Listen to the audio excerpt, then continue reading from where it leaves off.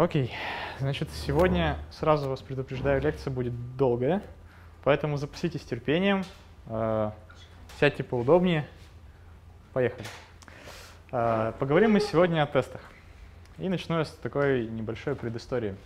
Когда я только начинал заниматься разработкой, э, у меня был руководитель, звали его Лев, э, и он э, рассказал однажды такую прикольную историю. Пришел я на работу, и он, он, точнее, пришел с работы домой, и его жена спросила, Лев, чем ты занимаешься э, на работе? Он говорит, ну, я пишу код, пишу к нему тесты, покрываю свой код тестами. Я такая, ну, прикольно, тесты, а что это такое? Он говорит, ну, это тоже код, который проверяет мой первый код. Он говорит, а зачем? Ну, логичный вопрос. Он говорит, ну как, чтобы чувствовать себя уверенно, чтобы э, все работало правильно. Она сказала, блин, Лев, ну я думал, ты хороший программист, зачем тебе себя проверять? Ты же ответственный чувак, ты должен э, писать хороший код. Зачем тебе код, который проверяет твой первый код? Ну это же глупость. А, он, конечно, рассмеялся, объяснил, зачем это все э, делать. И на самом деле тесты пишут хорошие программисты. И пишут они это по многим причинам, и сейчас мы их разберем. Итак, зачем же нужно писать тесты? Ну, во-первых, они помогают нам проработать исключительные ситуации. Когда мы э, пишем код, э, мы не всегда можем в голове удержать все случаи, которые, все крайние случаи. Так вот, когда мы пишем тесты на этот код, э, такая возможность нам предоставляется. Э, и разберем мы это все на задаче, которую вам на прошлой неделе, на прошлой паре точнее, анонсировал Сергей. Звучало она так. Мы будем делать сервис заметок. А, этот сервис будет работать по а, четырем запросам. По слэшу он будет отдавать главную страничку, по slash notes а, список заметок, по slash notes, но пост запроса мы будем создавать новую заметку, а get запрос на slash notes и имя вернет нам заметку. Напоминаем. И заметка, наверное, должна выглядеть как-нибудь так. Ну, то есть она не должна быть особо сложной, она должна состоять там, из парочки полей. Наверное, из основного содержания, а, это вот, например, заметка мне на сегодня. И ну, пусть будет даты создания в таймстемпе. А, но здесь стоит вопрос. Вот э, последняя ручка, последний, последний запрос, он должен возвращать заметку по какому-то вот такому э, идентификатору. Как этот идентификатор получить? Давайте попробуем решить эту задачу. Ну, наверное, нужно взять э, первую строку заметки и превратить ее во что-то удобное для того, чтобы подставить это в URL. Мы можем э, взять, э, привести все к нижнему регистру и заменить пробельные символы э, на тире, и, в общем-то, по получится неплохой такой идентификатор. А, ну вот в нашем случае to-do list, для него будет идентификатор выглядеть как-то так. to-do-list.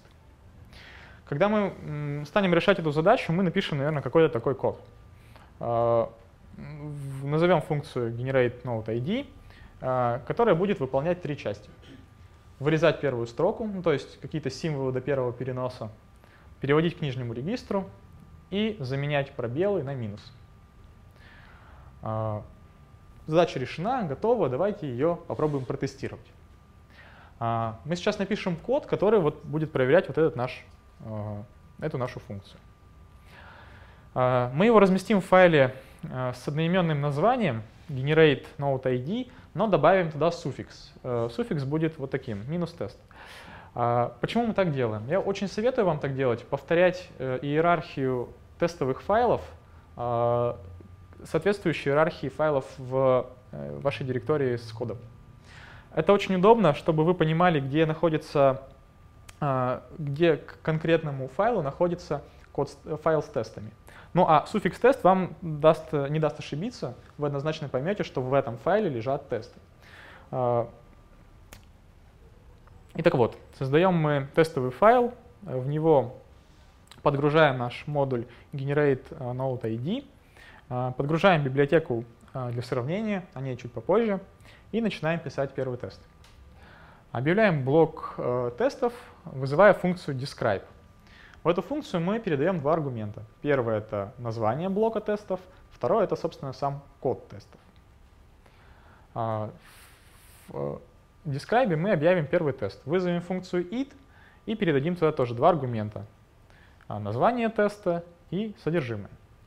тесте будет два несложных действия. Мы вызовем функцию какую-то, э, точнее не какую-то, а нашу, под, которую мы тестируем, generate node ID, с какими-то э, параметрами. Ну, например, вот с такими.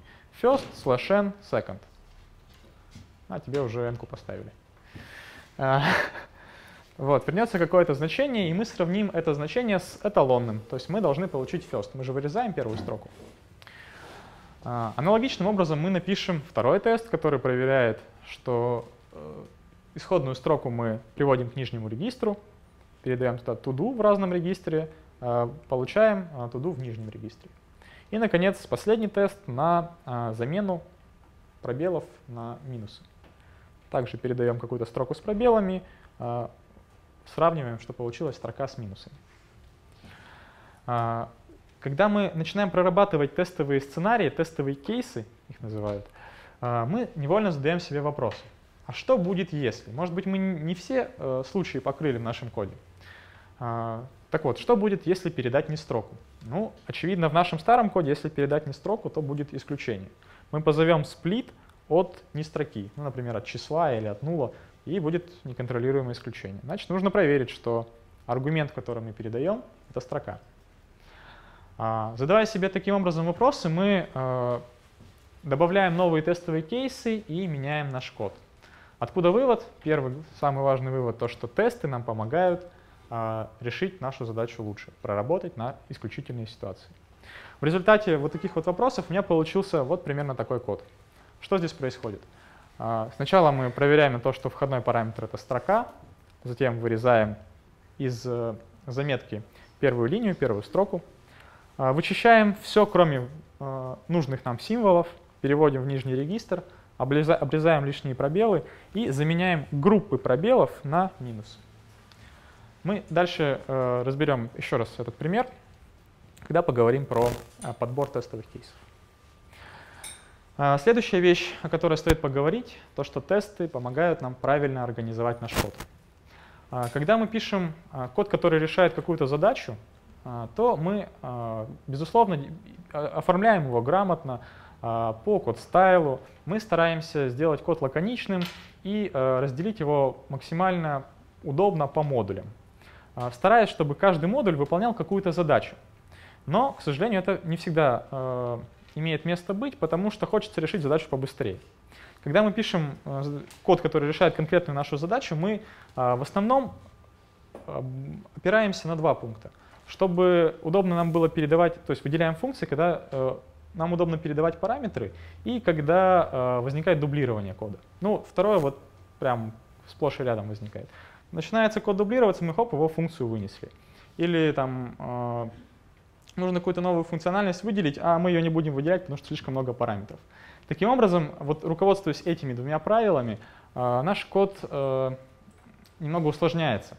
Модуль, который мы пишем, может решать сразу несколько задач, потому что ну, нам так было удобно, когда мы писали решение. Вот давайте даже э, вспомним первую задачу. Как вы делали ее? Скорее всего, э, когда вы ходили на GitHub и э, там состав, брали леммы, корни слов и считали их частотный словарь. Вы делали это все в одном файле, потому что вам так было удобно. Вы делали в одном файле и запрос гиту, и э, выбор корня слова, и подсчет. Все было в одном месте, потому что это, ну, естественно. Если же мы говорим э, о промышленной разработке, то такой код, э, наверное, нехороший. Не э, требования к коду меняются, а значит, в этот код придется возвращаться снова и снова. А поскольку все там переплетено, то есть одни вызовы функций зависят от других, все модули в одной куче, то такой код сложно поддерживать. Если же мы пишем код, который мы будем сразу же тестировать, он выглядит чище. Почему? Потому что э, для того, чтобы протестировать код, модуль должен быть изолированным. То есть он не должен зависеть от других модулей. Нам удобнее протестировать только одну функциональность. Например, то, что мы сначала сходили в GitHub, вот оформили это все в модуль и его покрыли тестами. Потом покрыли тестами часть, которая про а, выделение корней слов, ну и, наконец, покрыли тестами общую часть по а, вычислению частотного словаря. А, функции внутри модулей тоже выглядят лучше, потому что они решают одну маленькую атомарную задачку. Такой код, который пишется для тестов, он легче, его легче менять. Это вот как конструктор Лего. У вас есть несколько маленьких блоков, вы взяли, заменили блок одного цвета на блок другого цвета, и как бы все работает. Потому что он изолирован, он атомарный. Ну а раз легче менять реализацию, значит, э, вы можете поменять одну библиотеку на другую, один модуль на другой, и ваша, ваш код станет делать что-то другое. То есть его будет легче поменять. А такой код легче в поддержке. Тут важно отметить, что тестируемый код, то есть код, который можно тестировать, это не то же самое, что код, который пишется под тесты. Сначала кажется, что вроде как бы это одно и то же, но нет. Вот давайте вернемся к примеру про, э, генерат, э, про генерирование уникального идентификатора. Допустим, я захотел выделить э, всю работу с пробелами в функцию replace spaces. Тогда у меня будет какой-то такой код. Э, в основной функции будет проверка на то, что э, аргумент строка, потом выдирание первой строки и э, приведение к нижнему регистру. Вся работа с заменами, стримами и э, вычищением лишних символов я унес в replace spaces. Кажется, удобнее протестировать отдельно replace spaces, отдельно а, generate node ID. Но а, вот эта функция, она наружу никому не нужна. То есть а, для пользователей вашего модуля вот эта функция не сдалась. Значит, ее не нужно экспортировать в угоду удобства тестирования. Ее нужно тестировать через функцию generate. Значит, из этого модуля нужно проэкспортировать только первую функцию и не экспортировать вторую. Поэтому, когда вы пишете код под тесты, не перебарщивайте. Не делайте так, чтобы вам было очень удобно тестировать, но может быть неудобно пользоваться. А, следующая важная э, вещь — это то, что тесты помогают изменять код. Как я уже сказал, большие проекты, они живут достаточно долго. Требования меняются, и, и код нужно тоже менять. Ваш код должен быть адаптирован к изменениям, э, но это не всегда так. И чтобы адаптировать его к изменениям, нужно его рефакторить. Рефакторинг, простыми словами, это изменение вида кода без изменения его функциональности. То есть мы меняем э, то, как выглядит код в файле, но он по-прежнему делает ту же самую работу. Отсюда следующий вывод. Если мы не меняем функциональность, а тесты проверяют функциональность, то э, используя тесты, удобно рефакторить. Мы порефакторили, запустили тесты, если они прошли, ну все хорошо. А, далее. Тесты нам позволяют обновлять зависимость. Помните, Сергей рассказывал вам про а, SemVer. Кто помнит, поднимите руку. Ну, SemVer, такие три циферки, которые позволяют версионировать тот или иной модуль. Так вот, а, к сожалению, не все правильно пользуются SemVer ом. Там сказано, что если вы поменяли обратную совместимость, то есть ваш модуль ведет себя сейчас по-другому, то первую цифру мажорную нужно обязательно поменять. Э, все люди, все ошибаются, и бывает такое, что выходит изменение библиотеки, патчевой версии, а там ломается обратная совместимость. И очень неприятно об этом узнавать, когда ваш проект уже находится в бою, и там на него валятся какие-то нешуточные RPS. Прикольно узнать об этом в момент, когда вы библиотеку обновили. Вы обновляете ее прямо в dev-окружении, прогоняете тесты и такие, о, прикольно, тесты проходят, значит, обновление библиотеки прошло хорошо. Кроме того, что, э, во-первых, ну, внешний мир такой суровый, не все хорошо, не все правильно работают с Симвером, вам иногда может потребоваться действительно обновить мажорную версию, и тут те же самые правила работают. А, просто в деве обновляете ее, проверяете все тесты, и если все хорошо, а, то обновление завершилось удачно. Давайте поговорим о том, что у нас э, является результатом тестов. Результатом тестов, как ни странно, является не код тестов, а э, отчет об их успешном или неуспешном прохождении. А, вот таким образом выглядит тестовый отчет на первый пример с генератором э, идентификатора для заметки. Здесь э, несколько кейсов, и из этого отчета мы можем увидеть следующее, что часть тестов прошло, а один тест находится в состоянии pending. То есть мы написали тест, но не написали его реализацию, поэтому он в таком пограничном состоянии. Тут и не крестик, и не галочка, он как бы ни туда, ни сюда. Тестовый результат, вот эта вот э, тестовая выдача, является очень хорошей э, документацией для программиста. А, если вы только что пришли в проект, или вы э, какой-то модуль взяли и хотите понять, как он работает, вы можете запустить на него тесты и из э, названия тестов понять, а что же этот модуль реально делает. Можно даже не смотреть в код, можно просто прочитать эту выдачу и понять, ага, значит, наш генератор, он вырезает первую строку, кастует к нижнему регистру, ну и так далее, и так далее. Кроме того, вот этот тест в состоянии pending, я не зря его здесь оставил, это неплохая такая тудушка. А, когда вы пишете туду, то есть как бы вещи, которые вы когда-то сделаете, а, вы их пишете, скорее всего, у себя в блокноте, э, в лучшем случае в issue трекере. И о них можно забыть. А вот эта вещь, она а, всегда маячит перед глазами. Вы очень часто будете запускать тесты на ваши проекты, и вот такие вот тесты в состоянии pending, они как бы намекают, эй, реализуй меня, реализуй функциональность, напиши тест, давай сделай так, чтобы все было зелененькое. И это действительно работает, это действительно помогает. А, кроме того, а, тест — это неплохая живая документация. То есть вы можете не знать, как работает а, какой-то модуль, вы можете не знать, как его даже запускать. Но пойдя в тесты, вы увидите, ага, вот модуль выглядит так, запускать его нужно вот так, с такими аргументами, и я получу вот такой результат. Ну, классно. Одна из э, наиболее нашумевших методологий, э, которую применяют при написании тестов, методология называется TDD, Test Driving Development, э, или, переводя на русский язык, э, разработка через тестирование. Э, чтобы использовать эту методологию, нужно э, вести разработку по следующим шагам. Для начала мы пишем тест на желаемое поведение. Обратите внимание, мы еще не написали ни строчки кода, но уже пишем тест на какое-то поведение. Если мы запустим, как вы думаете, что произойдет?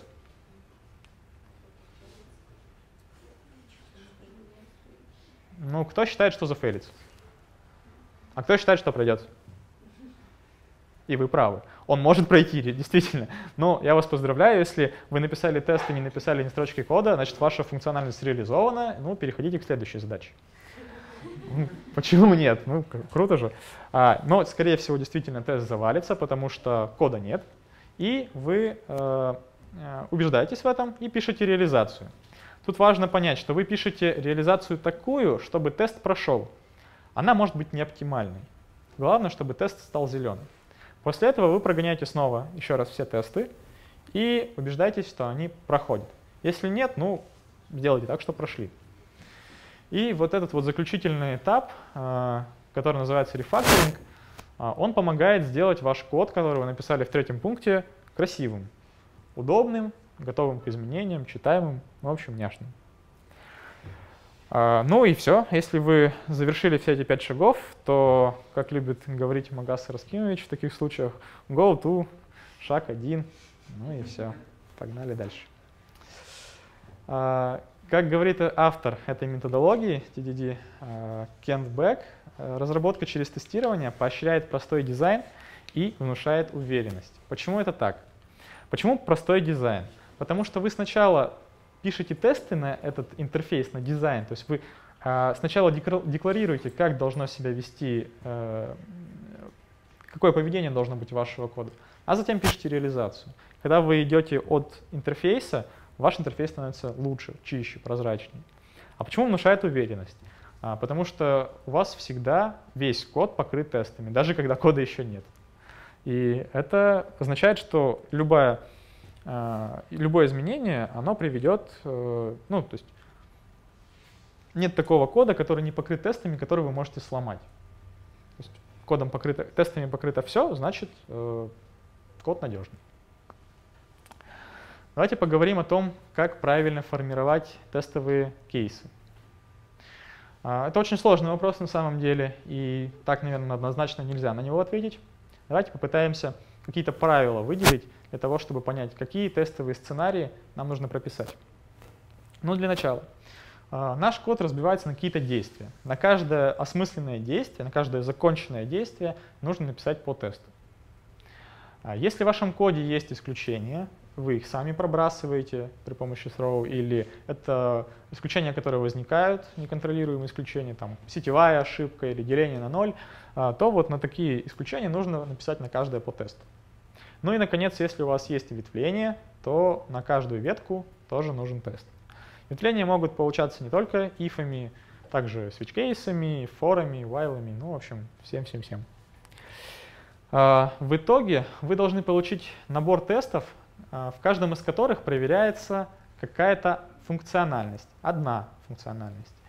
И желательно, чтобы она не проверялась в другом тесте. Конечно, если следовать в тупую вот этим правилам, вслепую, то э, у вас неизбежно будут повторения тестов. Так вот, э, вот это правило, оно поможет вам от повторений избавиться. Я специально здесь поставил звездочку, потому что это правило работает в идеале. Конечно, в каждом конкретном случае нужно подбирать тестовые сценарии э, непосредственно под тест-кейс, под код.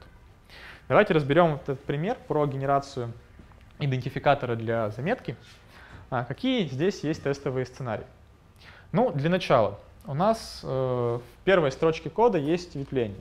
Ну, значит, вот на эту штуку нужно написать тест. Окей.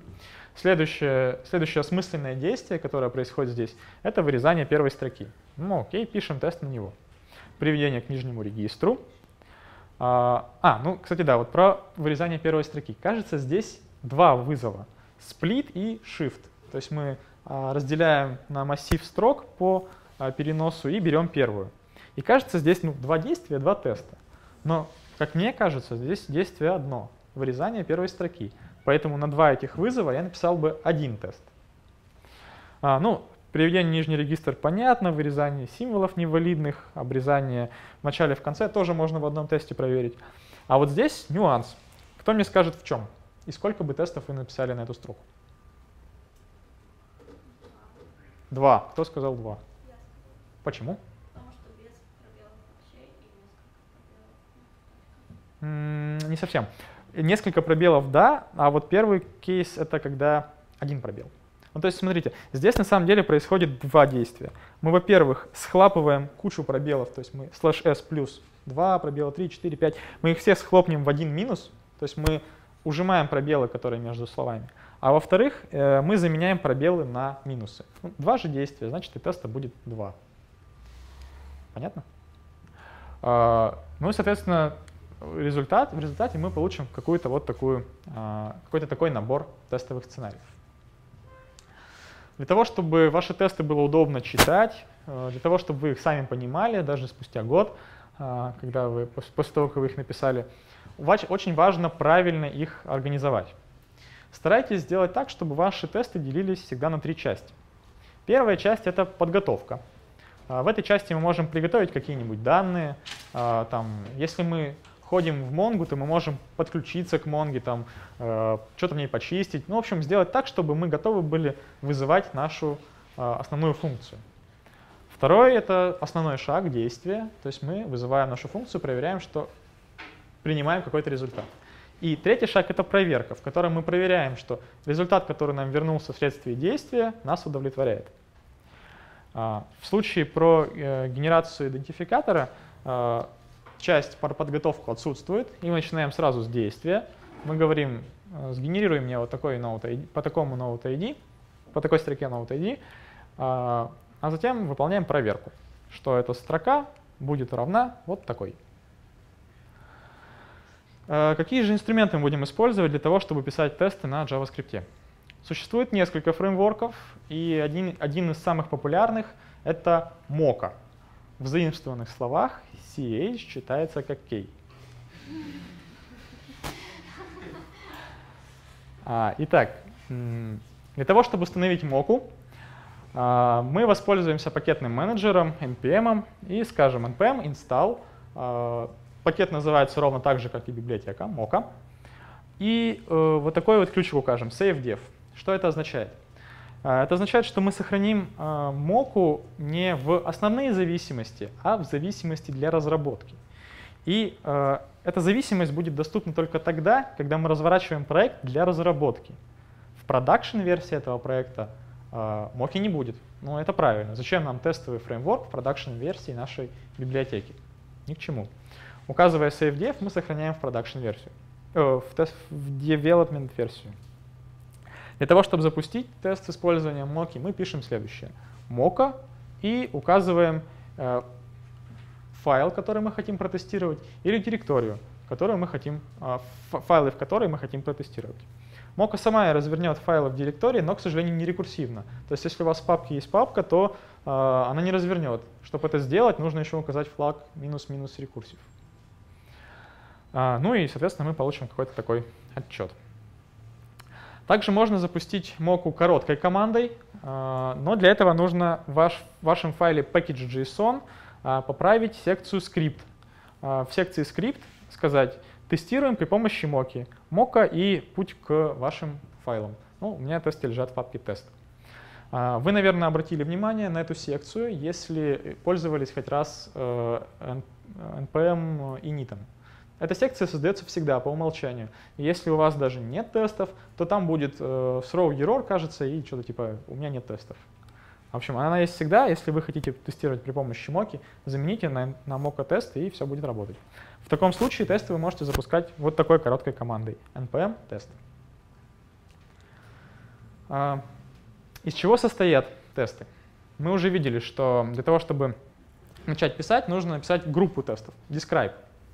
А, Describe нам приезжает в тот момент, он оказывается в глобалах, а, и приезжает нам в тот момент, когда мы подключаем, а, используем у себя моку. В Describe мы передаем всегда два аргумента. Это название группы тестов и, собственно говоря, код, функция, которая будет вызвана, когда мока захочет э, наши тесты прогнать. Точнее, когда мы скажем моке, прогони наши тесты. Далее. Мы вызываем функцию id, в которой мы описываем наш тест. Подобно describe она приезжает тогда, когда мы подключаем моку. И так же, как в describe, мы передаем туда два аргумента. Название теста и его код. В тесте мы делаем какое-то действие, проверку, а, ну и так далее. То есть создаем другой тест, действие, проверка. Но мы можем пойти дальше и э, вложить describe в describe. И это тоже будет работать. Э, то есть мы объявляем внешний describe, а в нем не просто набор тестов, а э, следующий describe, который позволяет нам каким-то образом сгруппировать тест. Зачем это нужно? Ну, э, допустим, в нашем случае, вот, например, работа с пробелами, кажется, группируется в какую-то одну, э, одну группу. Э, соответственно, все, все действия с пробелами я выделил в describe spaces результат при запуске вот такого, а, такой конструкции, когда describe в describe будет следующий. На верхнем уровне название верхнего describe, а потом название вложенного describe, ну и здесь уже тесты. А, для того, чтобы тестовый отчет получился правильным, и для того, чтобы вы сами понимали, что происходит, а, старайтесь сделать правильные, осмысленные названия дескрайбов и тестов. Когда вы пишете describe, описание, а, вы должны задавать себе вопрос, что я тестирую. То есть вот здесь, в этой строке, должен быть ответ, что находится под тестированием. Когда вы э, пишете тест, то вы должны ответить на вопрос, а что должно произойти. Можно, безусловно, передавать строки на русском языке, на английском, да хоть на каком. Но я советую вам это делать на английском. И ваши тесты начинать всегда со слова should. То есть э, вот это вот должно сделать то-то, когда то-то. Примерно так э, должны выглядеть ваши названия тестов. Тогда из названия тестов вы поймете, что упало, и поймете, как это починить. Когда мы говорим о моке, мы э, должны еще упомянуть о хуках. Так бывает, что э, прежде чем э, запустить тест, нужно выполнить какое-то действие. Это действие можно, нужно выполнять перед каждым тестом. Одинаковое действие. Ну, например, а, перед тем, как проверить какой-нибудь запрос к Монге, а, мы должны к ней подключиться. Действие, которое мы выполняем перед всеми тестами. Для таких а, случаев существуют хуки. Хуки бывают четырех видов. Первый хук — это before. Этот код будет выполняться один раз перед всеми тестами в этом дескрайбе. Хук авто, соответственно, будет выполняться один раз после всех тестов в этом дескрайбе. А, если вам нужно запустить какой-то код перед каждым тестом, то вам нужен хук before each. А если после каждого теста, ну, соответственно, after each. Если вы вкладываете describe в describe, то сначала запускаются хуки верхнего уровня, потом запускаются хуки вложенные. Мока это гарантирует.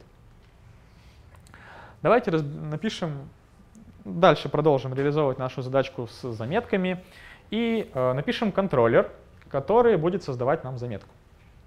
Э, значит, как я уже показывал на первых слайдах, э, заметка будет состоять из двух частей. Даты создания и какого-то содержимого.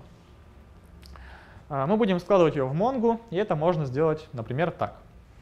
Э, мы берем э, Mongo клиент, коннектимся к какому-то инстансу Mongo, и когда connect произошел хорошо, а, позовется вот этот callback. Что мы делаем в нем? Выбираем коллекцию nodes и добавляем туда запись. А, здесь я вам показал еще одну новую возможность ECMAScript 6, когда мы не указываем имя поля, а оно берется равным значению имени переменной. То есть эту запись читай как created add, двоеточие created add и content, двоеточие content. Ну, удобно. А, таким образом, мы создаем заметку. Тесты на эту штуку можно написать таким образом, чтобы они были минимальными, когда мы используем хуки. Как я уже заспойлерил, в хуке before мы можем подключиться к Mongo. Нам нужно это сделать один раз, а, поэтому нам этот хук отлично подойдет. А, давайте разберем, что здесь написано. Мы берем также, коннектимся к Mongo. В блоке then получаем, собственно, connect до Mongo и сохраняем его в глобальную переменную. Точнее, в переменную, объявленную в блоке describe. Поскольку connect к Mongo — это операция асинхронная, то нам нужно сказать мока, подожди, не прогоняй тест до тех пор, пока я не приконнекчусь к Mongo. Для этого я использовал вот в этом примере callback синтаксис. Я принял э, в, в самом тесте, в хуке, переменную дан, аргумент дан, который ведет себя следующим образом. Если позвать дан без аргументов или с аргументом, кастующимся к false, то хук завершится удачно. Если позвать дан с чем-то, что не кастуется к false, то э, хук зафейлится. Соответственно, когда, как работают промисы? Здесь, напоминаю, э, connect вернет промис, и э, пойдет следующая история. Мы свалимся в первый callback, вот в этом блоке then, э, в котором просто возьмем, присвоим переменную. Мы из него ничего не возвращаем, а если из функции ничего не возвращается, то она возвращает что? Undefined. Значит, вот в этот блок, в этот блок then, свалится в done undefined. Undefined отлично кастуется к false, и значит э, наш хук не завалится. Если произошел, произошла ошибка при коннекте, то мы свалимся во второй э, callback э, и вызовем done с ошибкой. И наш хук зафейлится, и тесты даже не, начнут прогоняться. Мы увидим эту ошибку в тестовом отчете и поймем, ага, в before хуке у нас произошла такая-то ошибка, окей, пойду разберусь. Вот это вот один из способов, как можно работать со синхронностью в моке. А, второй способ. Э, ну, сначала объясню, что здесь происходит. Перед каждым тестом мы э, хотим почистить коллекцию записей. Почему? Потому что мы будем, наверное, как-то раз, разным образом разные записи туда инсертить, и э, когда мы будем проверять актуальное значение, нас не устроит то, что там лежало раньше. Кажется правильным делать чистку прибирать за собой после тестов. Но мы же все хорошие программисты, мы э, написали что-то в Mongo, э, проверили, что там все хорошо, за собой почистили, пошли домой. Э, но, к сожалению, это не так. Ну, в смысле, мы-то хорошие программисты, но иногда что-то иногда где-то забывается. Поэтому мой вам совет — всегда готовьте окружение перед тестом, а не после. Э, соответственно, перед всеми тестами мы будем делать следующее — выбирать коллекцию notes и удалять все записи из нее. Поскольку запрос к Mongo тоже асинхронная операция, то мы должны э, сказать Моке, подожди, пока эта штука вся завершится. Э, чтобы этого, это сделать, мы также принимаем callback done и вызываем его тогда, когда э, закончилась операция. Почему нельзя просто взять и вот сюда написать done? Потому что remove возвращает результат. Типа, что ему удалось сделать? Удалось удалить, не удалось, сколько записей. Если мы позовем дан с этим результатом, Мока подумает, что, о, меня позвали с данными, значит это fail, и выведет это в фейле. Поэтому нам нужно позвать дан без аргументов. можно использовать стрелочную функцию для этого. Вот такая вот короткая запись. Э, она, конечно, короткая, но я знаю людей, которым она не очень нравится. Пойдем дальше. А, третий способ, как работать с асинхронностью, это просто взять и вернуть промис а, из хука или из теста. А, мы это сделаем на примере авто.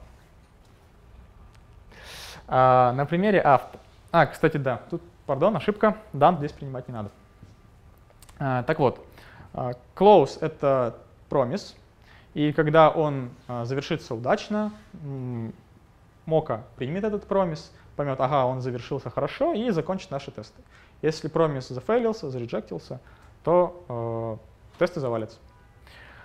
Вот таким образом, описав все окружение, мы готовы к тому, чтобы писать тесты. Ну, а тест на этот контроллер будет выглядеть как-то так. Э, мы берем где-то там выше, э, импортируем наш контроллер и вызываем его с двумя параметрами. Параметр дата, ну, здесь она такая, так себе дата, скажем, 1, 2, 3, и так себе заметка MyNote. Но для тестов нам хватит. Всегда старайтесь в тестах использовать очень короткие и лаконичные названия. То есть старайтесь, чтобы э, они не были излишними. То есть используйте максимально подходящие для этого. Я считаю, что такие значения вполне подходят. Когда запрос к контроллеру завершился, напоминаю, он возвращал промис, то мы свалимся вот в этот callback, э, описанный в блоке then. В нем мы делаем следующее. Берем коллекцию notes и ищем в ней все записи. Find возвращает нам курсор, мы этот курсор превращаем в массив, и э, результат возвращаем дальше по цепочке промисов. Сваливаемся в этот then, уже э, имея в actual все записи, которые есть в Mongo. Поскольку мы перед тестом почистили э, коллекцию notes, то нам, по идее, должна вернуться одна запись. И в ней поле created add должно равно быть 1, 2, 3, а поле content должно равняться myNode. А, если это не так, ну, соответственно, наш контроллер что-то делает не так. Ну и здесь я использовал для э, работы с асинхронностью вариант с э. А, уже во многих примерах я начинал использовать, писал вот такие штуки, как assert, что-то там. Сейчас я расскажу, что это такое.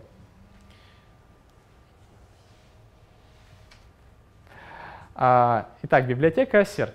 Она поставляется нам а, вместе с а, нодой, то есть в последних версиях нода она уже, да, она, по-моему, всегда была.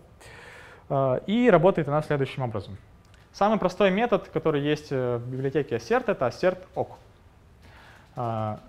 Эта штука сравнивает на эквивалентность с true. То есть если то, что вы туда передали, каким-то образом приводится к true, значит все хорошо. Если, ну, соответственно, true будет приводиться к true строка, а, объект, это короткая запись assert можно просто писать assert. Если э, аргумент к true не приводится, то возникнет исключение. Э, исключение будет э, выглядеть так. Assertion error, она называется, тип assertion error, и вам скажут, что не равно true. Но в, данном случае мы использовали false, false точно не равен true. Пустая строка, 0, null, они все кастуются к false. А, для того, чтобы сравнивать значения, а, нам нужно использовать equal. Хоть здесь и написано assert equal, это не а, проверка на равенство, это проверка на эквивалентность. Напоминаю, 2 равно — это не равенство. А, значит, что будет чему равно? Ну, понятно, true-true, строки, а вот здесь нас подстерегает опасность.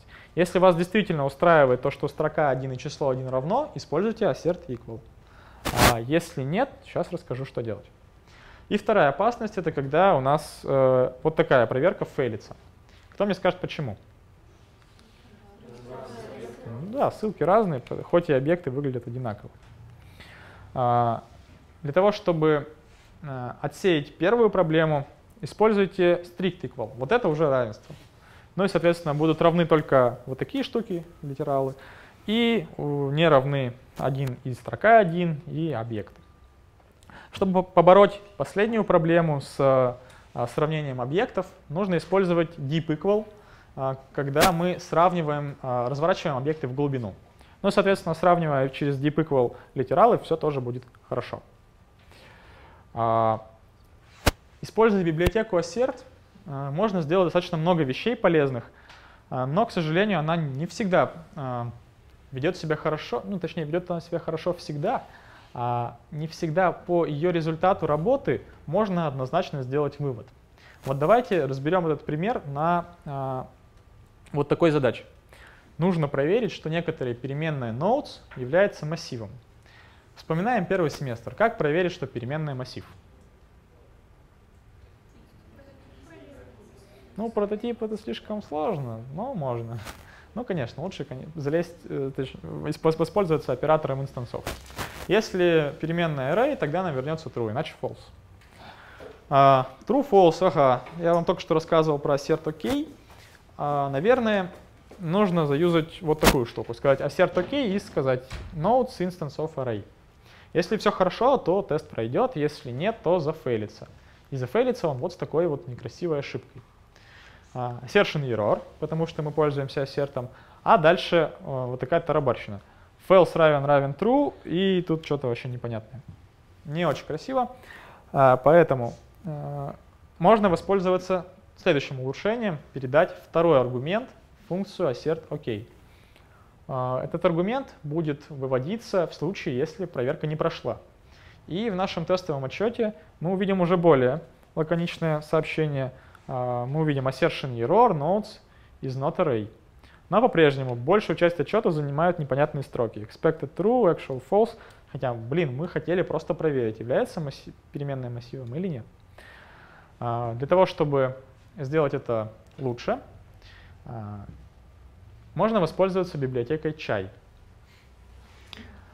Для того, чтобы ее установить, воспользуемся package менеджером, а, говорим npm install chai и сохраняем ее также в dev-версию наших зависимостей подключаем чай. У него есть три интерфейса.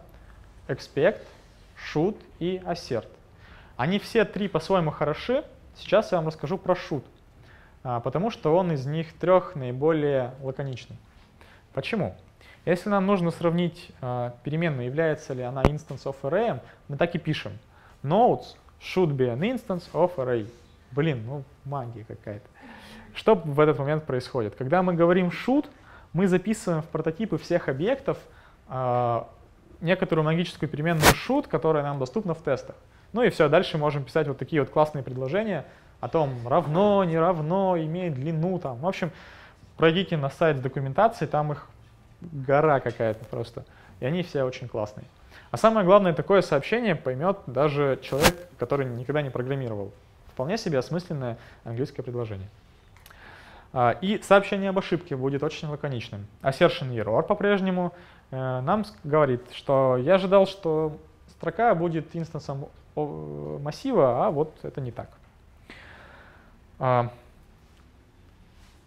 Но есть нюанс. Если а, я присвою в переменную notes, например, null, как вы думаете, что произойдет? Какой прототип у нула? Так, number вариант, object, еще какой вариант есть? Да ну ладно, мы же рассказывали вам в прошлом семестре. Никакого. У нула нет прототипа. И у undefined нет прототипа. И вообще у многих вещей прототипа нет, к сожалению. А, поэтому туда нельзя просто так взять и записать shoot. Ну и, соответственно, если мы позовем а, shoot а, от нула, нам так и скажут. Я не могу вызвать shoot of null или of undefined, и все упадет совсем не вот с такой красивой ошибкой, а с какой-то фигней. Поэтому а, я вот в своих проектах использую чай, но с, другой, с другим синтаксисом, синтаксисом expect. Вот он позволяет от таких ошибок избавиться. О том, как он а, работает, я вам а, предлагаю ознакомиться дома самостоятельно. Приготовьте, сейчас будет реально хардкорно. Поэтому соберите мозг в кучку. Но для начала лайтовая тема. Итак, отладка тестов. Для того, чтобы вести разработку э, какой-то фичи, какой-то новой фичи, если у вас есть э, в проекте много тестов, то, наверное, вам не хочется гонять эти тесты э, все тесты. Вам хочется гонять только те тесты, которые э, покрывают эту новую разрабатываемую фичу. И для этого есть следующие механизмы. В моке можно вызвать метод only э, у теста. В таком случае мока запустит только вот этот тест. Если вы вызовете only у describe, то запустятся все тесты, описанные в этом describe. И отсюда становится понятно, ну, зачем вообще выделять э, какую-то функциональность в describe. Ну, чтобы запускать ее очень удобно. Э, также можно э, взять и пропустить тест, указав метод skip, вызвав метод skip у теста, э, либо у describe, и тогда пропустится группа тестов. А если же вы э, сказали skip, то тест или группа тестов будет висеть в состоянии pending, то есть тесты, которые не запускались. Также состояние pending можно добиться, если мы опишем тест и не станем передавать ему второй аргумент, функцию, а, тогда просто реализации не будет и а, запускать будет нечего. А, для того, чтобы вести разработку удобно, можно запускать тесты в вашей, вашем IDE. Я пользуюсь WebStorm, поэтому да, я буду снова вам рассказывать плюхи WebStorm, а именно как запускать на нем тесты. Итак, для начала нам нужно установить моку, установить ее глобально, так, чтобы она была доступна сразу для всех проектов. А, когда мы установ установим моку, то нам нужно проверить, что все прошло хорошо. Ага, Артем обрезал видео. Значит, э, в э, настройках в Node.js NPM э, будет установлена мока самой последней версии. Дальше мы нажимаем на Run, Edit Configuration, и здесь говорим, добавь ко мне новый раннер тестов с использованием моки, естественно. Нас попросит ввести имя этого раннера. Вы можете ввести просто имя Mocha или My Favorite Runner. Если мы вот тестируем там какую-нибудь функциональность на какой-то там Slack генератор, то пусть будет э, название Slack генератор. Все остальное мы указываем по умолчанию. Э, в Working Directory мы выбираем, как ни странно, э, директорию, в котором находятся наши файлы. Э, все остальное также оставляем по умолчанию. А, единственное, что можно поменять, нужно поменять, это тест директории. То есть директория, в которой лежат ваши тесты. А, ну, соответственно, указываем на директорию с тестами. А, если мы хотим запускать тесты в поддиректориях рекурсивно, ставим галочку Include Subdirectories. Говорим Run, выбираем наш тест, там он да, есть, и видим результат прямо здесь, в WebStorm. Часть тестов прошла, один тест зафейлился. Чтобы понять, какой, мы жмем на него и видим, ага, очень философский тест. Should, true should be false. Ну да, прикольный. А, говорим skip, если, например, не хотим, чтобы он запускался.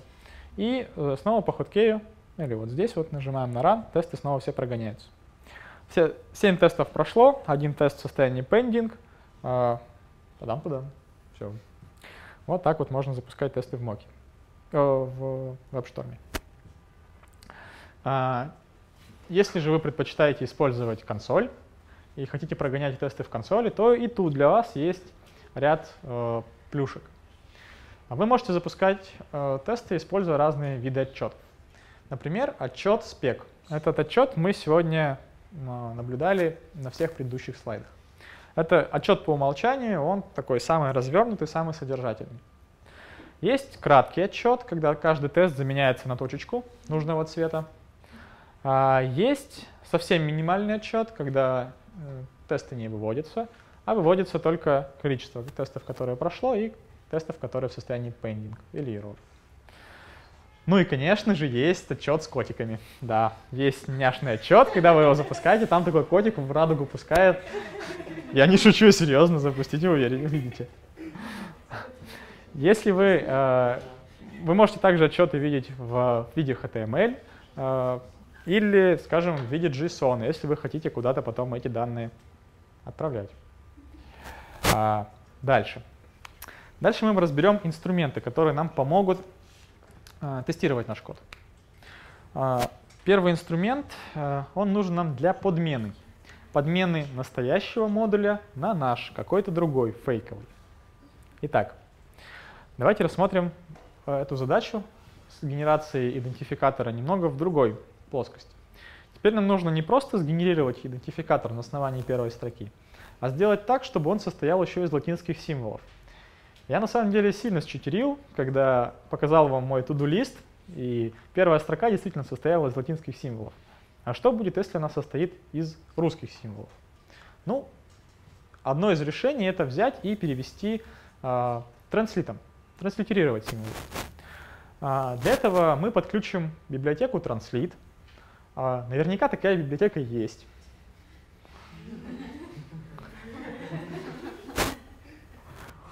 Вот, и наш код изменим следующим образом. Мы завернем, а, прежде чем начать преобразование над, строкой, а, мы прогоним ее через Translate. Весь остальной код остался таким же, как и был раньше. Тест будет выглядеть следующим образом действие. Мы говорим generate node ID на основании строки «Привет» и сравниваем, а, что верну, получи, полученный результат равен эталонному «Привет». Не знаю, как это прочитать. Так вот, а что если библиотека Translate еще не реализована? Или ее реализует мой сосед э, Сергей, да, справа от меня сидит Сергей, э, который ее еще не опубликовал. Или эта библиотека есть, она опубликована, но она работает нестабильно. Или вообще, в принципе, она работает очень долго, и я на самом деле не хочу ждать, пока она завершит свою работу. Я хочу протестировать свой код. То есть я хочу протестировать вот это вот поведение. Не хочу тестировать Translate. Translate занимается другой разработчик, и он обязан ее протестировать. Я этого делать не хочу. Так вот, во всех этих случаях мы можем подменить реализацию транслита на реализацию какую-то фейковую. Транслит к нам пришел при помощи require, и а, при помощи require мы его и подменим. Есть инструмент, называется он mockery, который позволяет подменить настоящую реализацию на фейковую. Для того, чтобы установить mockery, также говорим npm install mockery, сохраняем его в dev зависимости. Почти все, что сегодня мы используем, мы сохраняем только в dev зависимости. Подключаем ее э, в наш тестовый файл и пишем э, следующую штуку. Объявляем наш тест и э, в этом тесте объявляем функцию, которая будет транслитерировать нам слова. Она фейковая, э, и она не должна уметь делать много и хорошо. Она будет делать только одну вещь. Она будет проверять, что на вход пришла строка «Привет, мир» э, и возвращать эту же строку только транслитом. На все другие строки она сругается. Почему? Потому что э, вот этот вот assert не пройдет, а значит возникнет assertion error. Дальше мы хотим подменить э, реализацию библиотеки translate на нашу фейковую реализацию. Мы говорим mockery register mock. И дальше мы э, говорим, все mockery, я сконфигурировал тебя. Начиная вот с этой строчки, любой require будет прогоняться через mockery. И если найдется вот такая вот реализация, она будет э, возвращена, то есть возвращена фейковая реализация. Если э, никто не зарегистрировал э, какую-то библиотеку, то вернется настоящий. Поскольку, когда мы require файл э, generate node ID, там первой строчкой говорится require translate. Э, понимает, что да, транслит у меня есть, и вместо настоящего транслита возвращает наш фейковый а дальше история будет развиваться следующим образом. Мы позовем наш э, generate node ID со строчкой «Привет, мир», э, попадем в фейковую реализацию транслита, то есть вот сюда, проверим, что строка пришла нужная, вернем «Привет, мир», и дальше пройдем, пре преобразуем эту строку э, по всем описанным ранее правилам. Э, вот эти вот фейковые моки, вот фейковые реализации, их э, часто очень используют при тестировании, чтобы э, отвязаться от внешних зависимостей. Эти штуки называются заглушки. И для того, чтобы сделать заглушки удобными, э, конечно же, есть библиотека, которая реализует интерфейс заглушек. Эта библиотека находится в составе библиотеки Sinon. Ставить библиотеку Sinon ну, каким-то очень понятным образом можно. А, и в ней мы будем использовать а, стабы. Стаб — это пенек дословно или заглушка. Значит, как, мы, как этот же тест будет выглядеть с использованием стабов. Мы говорим, Sinon стаб, сгенерируй мне какую-то новую заглушку, и дальше пишем ее поведение.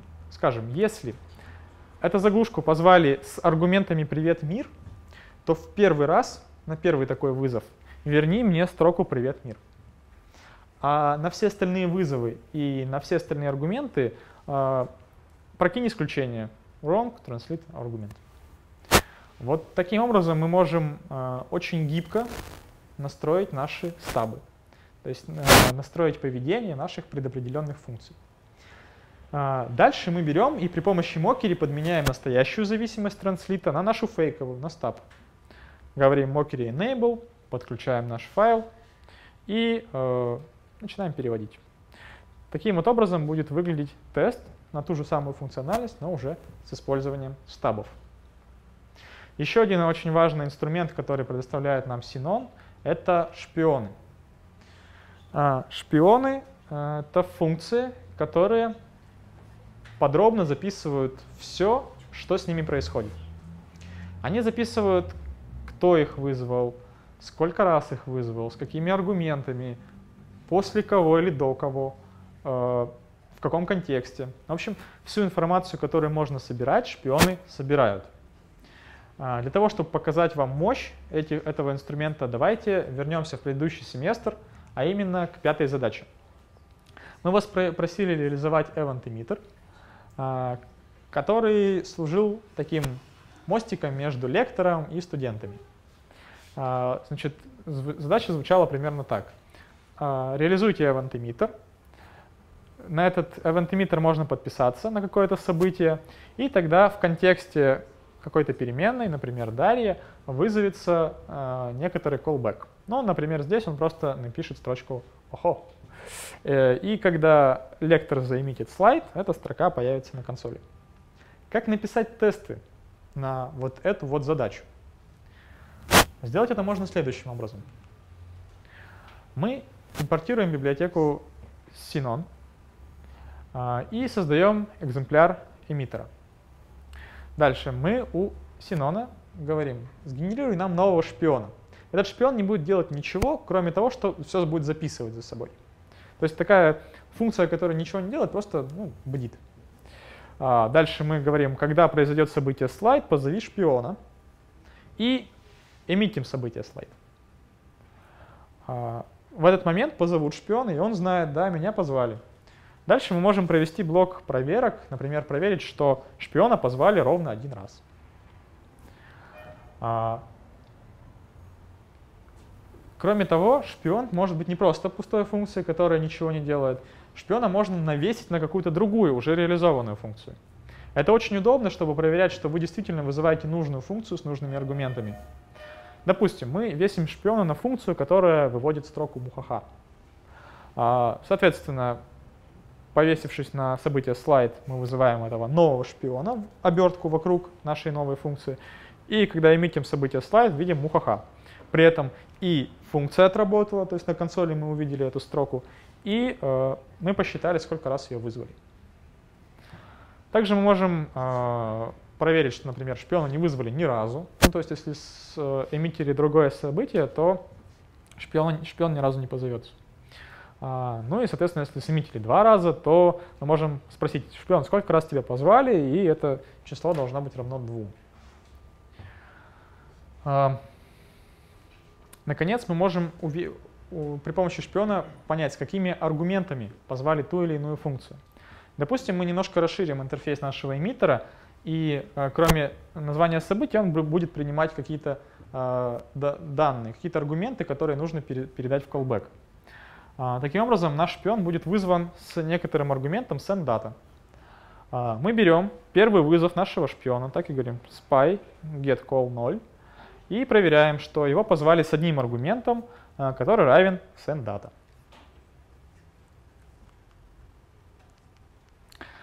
А, вот это вот очень такой сильный инструмент э, Sinon, э, который предоставляет нам заглушки и шпионы. А в комбинации с Mockery это практически то, что нам нужно для того, чтобы писать тесты. И вообще достаточно, э, этих двух инструментов нам будет достаточно, чтобы все протестировать, а, но можно это сделать эффективнее. А, допустим, мы пишем приложение, которое делает сетевые запросы.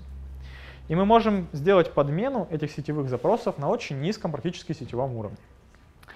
А, допустим, мы хотим не просто переводить, э, не просто транслитерировать слова, а действительно их переводить при помощи, например, API переводчика. А, тогда наш код будет сразу станет асинхронным. Мы в вот этом генераторе NodeID а, будем ходить в какой-то а, какой-то API, получать оттуда результат, с этим результатом как-то работать. И тест на наш код будет выглядеть как-то так. Мы зовем generate node Раз эта штука станет асинхронной, значит это будет либо promise, либо callback интерфейс. Пусть будет promise. Когда а, все запросы отработают, то мы свалимся в блок then и в нем проверим, что результат, который нам вернули, равен high. Кажется, очень лаконичный тест. А, но кто мне скажет, в чем здесь проблема?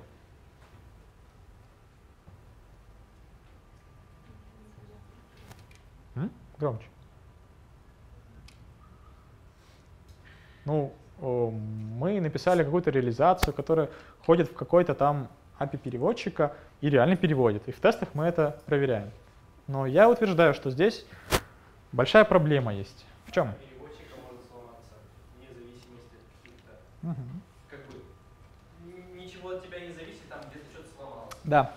Может пропасть сетевое соединение, может сервер упасть, он может ответить не так, как вы хотели. В общем, э, может случиться много разных вещей, которые э, от вас сейчас не зависят, а значит ваши тесты упадут. И вы хотите избавиться от этого. Тесты должны быть стабильными, иначе они будут приносить вам только головную боль. Поэтому, чтобы тест стабилизировать, а вы действительно не хотите проверять, насколько грамотно переводит наш API переводчика, можно подменить сетевой запрос на фейковый. А, сделаем мы это при помощи библиотеки NOC. А, ну, как, как установить NOC я даже уже не пишу, наверное, и так догадались. А, подключаем ее при помощи require и пишем следующие строки. Если произошел сетевой запрос вот в такую вот, по такому вот хосту, вот по такому вот URL, с какими угодно query параметрами, то верни мне код с ответом 200, все хорошо, и вот с таким вот телом. Что произойдет? Когда я позову свой, э, свою функцию, пусть она будет translate, э, со строкой «привет», то неважно, с какой я строкой позвал, на самом деле мне всегда вернется hello world. Специально вам это продемонстрировал. И прогоняя через наши все преобразования, мы получим вот такую вот строчку. А, что в этом поведении хорошо? Я только тестирую свой код и не тестирую внешний сетевой сервис. Этот тест проходит в 10, а то и в 100 раз быстрее, потому что сетевой запрос это всегда медленно. Ну и, наконец, этот тест стал стабильным. И это, конечно же, радость. Вы можете использовать NOC как а, предопределив его поведение, а, так и в комбинации с настоящими сетевыми запросами. То есть, если NOC не найдет среди, среди своих предопределений а, вашего запроса, он сделает настоящий запрос. По дефолту он не делает ничего. А, вы можете сетевые запросы записывать, то есть один раз прогнать тесты в режиме нока, который, когда он э, ну, как бы записывает все ответы, запросы и ответы, а потом прогонять тесты а, таким образом, чтобы он брал ответы уже из файла. То есть вот эта тулза, она очень гибкая и позволяет а, на низком уровне заменить ваши сетевые запросы. Эта штука помогает не только тестировать, но и вести разработку. Если вы э, придерживаетесь архитектуры микросервисов, и какой-то сервис еще не реализован, вы можете в своем коде написать вот такой ног, в боевом коде написать вот такой ног, который как бы ходит в этот сервис. Когда он будет реализован, вы этот ног уберете, и все будет работать хорошо. Вы уже можете писать реализацию. А, да, такое название, супертест, думаешь, ну, думаешь, вот все, здесь точно будет тулза моей мечты. Ну да, наверное. Э, продолжаем задачку, которую э, задал нам Сергей, написать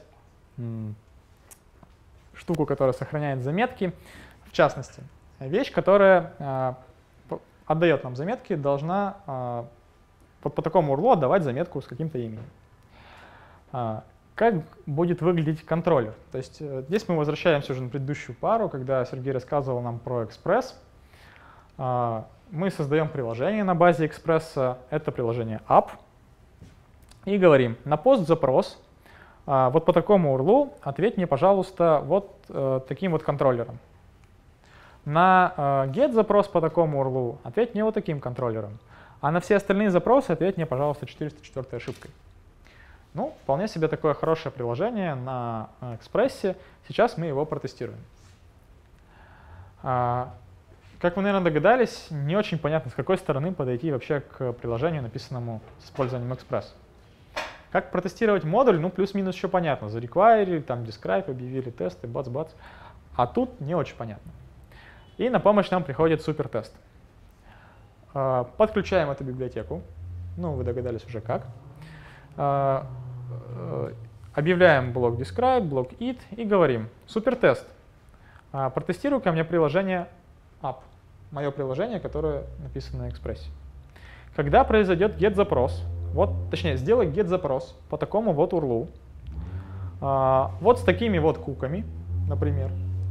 А, ожидай в ответе на свой запрос а, вот такой вот content type и ответ а, со статусом 200. То есть вот этот тест проверяет, что ваше приложение вот на такой запрос с такими куками вернет HTML-ку с кодом 200. Это все вещь асинхронная, конечно же, поэтому мы принимаем дан э, в тесте и здесь его вызываем. Если мы хотим протестировать 404 страничку, ну давайте просто сходим при помощи супертеста в какой-то несуществующий URL, а, ну и получим 404 проверим, что нам код вернулся. Также асинхронная штука.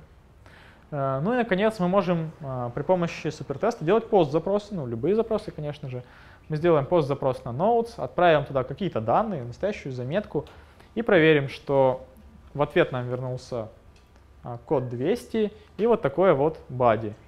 А, то есть тело, тело ответа мы достаем из body а, и сравниваем его с каким-то нашим ожидаемым поведением. Поскольку вещь это синхронная, то, конечно же, нам нужны синхронизатор данных.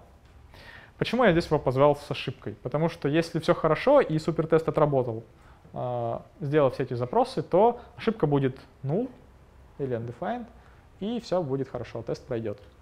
Если произошла какая-то ошибка, то мы здесь тест зафейлим. А, последняя вещь, о которой мы сегодня поговорим, это покрытие тестами. Покрытие тестами — это метрика, которая указывается в процентах, и она показывает нам, а, какой процент кода вызывается из тестов. Какой можно вывод сделать по этой метрике? Э, ну, разный. Если у вас э, coverage очень низкий, означает, что вы покрываете очень мало вашего кода тестами. Если у вас coverage 100%, как вы думаете, какой можно вывод сделать? Нет, неправильно, не весь код покрыт тестами, это означает, что из тестов вызывается 100% вашего кода. Но, к сожалению, это не гарантирует то, что а, весь, тест, весь код покрыт тестами. Сейчас я поясню, почему.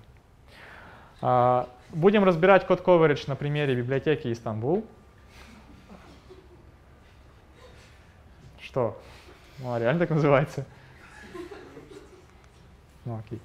Для того, чтобы ей воспользоваться, мы поставим Истанбул глобально используя флаг минус «g», э, и позовем, сгенерируем наш э, отчет о покрытии тестами. Э, если мы используем моку, а мы используем моку, мы пишем следующую штуку. Истанбул, cover, и дальше следующую вещь. Мы указываем при помощи какого репортера прогонять тесты, при помощи какого тест-раннера прогонять тесты и указываем аргумент, откуда их прогонять. Если не откуда, то из текущей директории.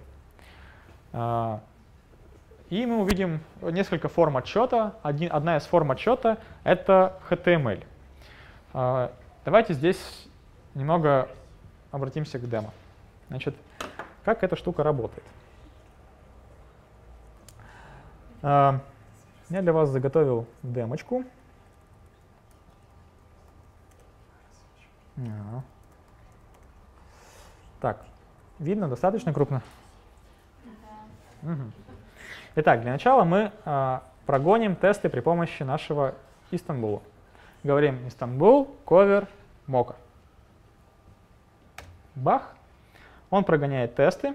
Вот здесь вот прямо будет настоящий тестовый отчет, а, который сгенерила мока. Ну, тут разные примеры, которые в лекции были. А, все он их прогнал. Затем он сгенерировал по ним отчет и здесь вот написал. А, в своих тестах я покрыл 71% операторов, 53% веток, ифов, вызвал 68% функций, и э, вообще, в принципе, кода, строчек кода было покрыто 71%. Какие уж вы сделаете из этого выводы, ну, вам одним известно. Ну, наверное, это плохое покрытие. Ну, какие-то тут не очень хорошие цифры. Давайте посмотрим отчет в HTML виде. В HTML виде эта штука выглядит чуть симпатичнее. Она желтого цвета, что означает... Это желтый цвет, если что, да. А что означает... Ну, блин, зеленый там другой. Так вот, э, и по цвету нам, нам как бы инстабул подсказывает, насколько ты близок к цели. Если желтый, значит еще не очень близок. И здесь он указан, ну, в общем, те же самые данные, сколько операторов покрыто, сколько веток, функций и строк кода. И он говорит, если хочешь узнать подробнее, жми сюда. Итак, допустим, у нас есть функция наша по э, генерации node ID. Я вам расскажу, как это этот Инстанбул работает. Что-то ничего не влезает. О, так влезает. Итак, что он говорит? В, этом, в этой функции я покрыл 100% стейтментов, ну, в общем, вообще 100% покрытие. А, для того, чтобы померить это покрытие, Истанбул сделал следующее. Он, ну, я не дословно вам рассказываю, как он работает, я образно. А, он сделал так. Он практически между каждыми моими строчками кода напихал своих функций, и прогнал все тесты. Потом он посчитал, сколько раз его функции были вызваны. И на основании этих вызовов вот здесь написал цифры. Значит, функцию GenerateNodeID а, использовали один раз, ну очевидно вот здесь. Модуль экспортировали один раз. Функцию if позвали 7 раз. Один раз зашли внутрь. Написали return. И 6 раз позвали вот эту вот цепочку а, вызовов. А, для того, чтобы показать вам, что эта штука действительно работает, давайте отключим один тест, например, который проверяет то, что э, аргумент не строка. Для этого мы удобненько переключаемся в нашу IDE. Сегодня это будет, например, Atom. А, в Atom мы находим тесты на GenerateNodeID и ищем в нем тест, который проверяет аргументы. Ну вот, should return undefined when input data not a string. Ага. Я говорю skip на этом тесте. И еще раз запускаю э, генерацию coverage. Смотрим тестовый отчет. И что же произошло в нашей функции generate Смотрите, покрытие кода стало уже 80%. То есть что-то действительно сломалось. И мне прям сказали, вот обрати внимание на эту строчку. Это красный цвет, если что. Да, с цветопередачей здесь все классно. А, да, это зеленый. Это уже не желтый.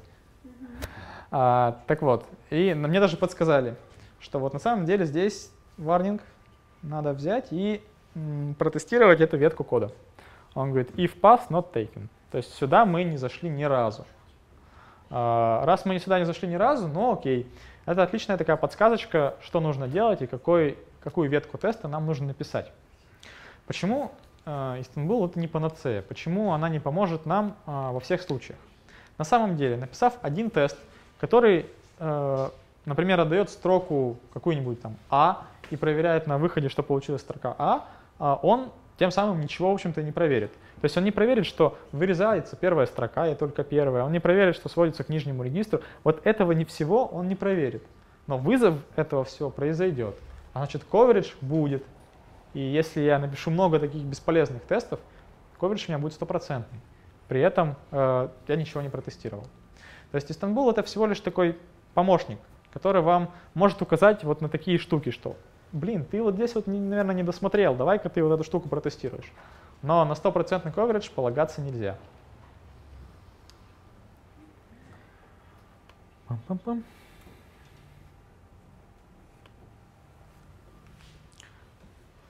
А на этом все. Пробка рассосалась. Все очень вовремя. Замечательно. И домашнее задание вы найдете по этой ссылочке. А, секция вопросов задавайте. Если там домашка, ну, наверное, есть уже. Это правда самый, самый важный вопрос, который вас сейчас волнует? Ну, слава богу.